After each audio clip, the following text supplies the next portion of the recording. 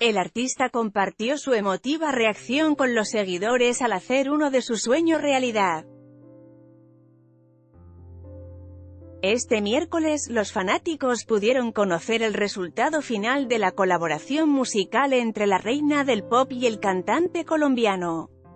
Maluma hizo una publicación en la que llora y hasta grita escuchando la canción, imposible contener las lágrimas y la emoción después de escuchar esto. No saben mi felicidad y lo que representa esto para mi vida, escribió. En contexto, hace dos horas el tema llamado Medellín hace parte del próximo trabajo discográfico de Madonna. Let's Blockades, Why?